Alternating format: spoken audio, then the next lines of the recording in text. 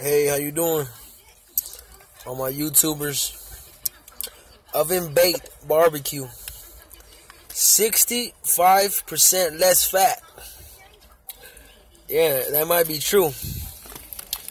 Because there's 75% less of the goddamn bag, homie. I have not ate one chip from here.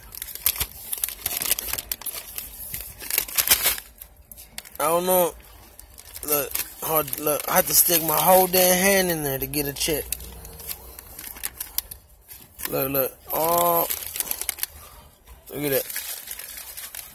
This is where the, the, the chip is at, though. Literally, where these chips are at, that's where the chip's at, though. No, we're getting ripped off, my boy. Look at that.